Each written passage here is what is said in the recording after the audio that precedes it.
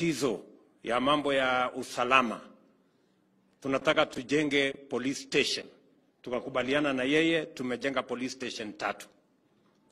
Akarudi tena akaniambia tuko na shida ya watu wanaenda mpaka Kiambu kutafuta law courts. Tukakuja hapa tumejenga law courts, iko tayari. Akakuja tena, ndio mjue huyu mtu atosheki. Akarudi tena akaniambia hatuna technical training college.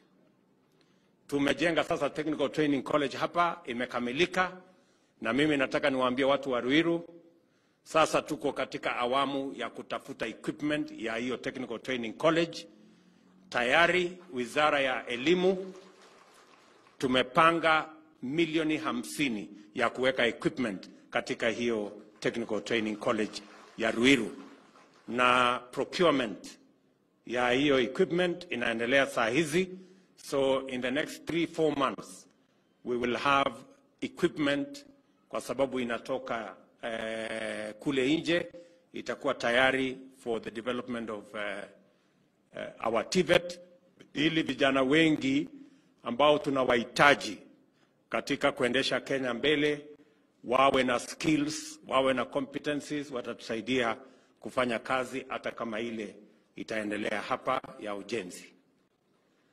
Huyu mungwana pia alikuja siku moja mpaka kwa ofisi yangu na gambut. Kamuuliza, mheshimiwa, iko shida gani? Mkuja kwa ofisi na gambut, wewe huoni iko carpet hapa?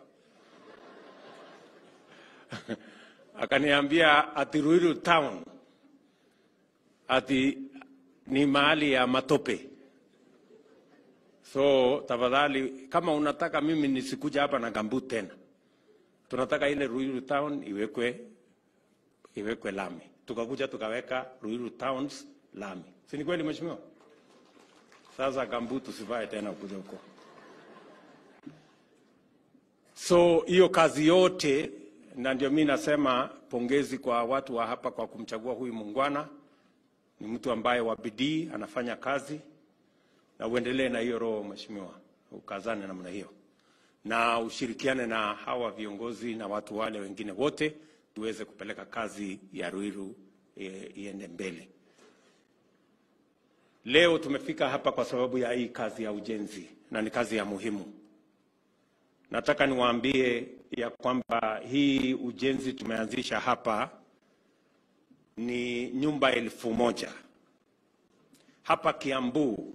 Tumekubaliana na gavana wenu na wizara yetu ya kwamba Kiambu tunajenga nyumba elfu hamsini.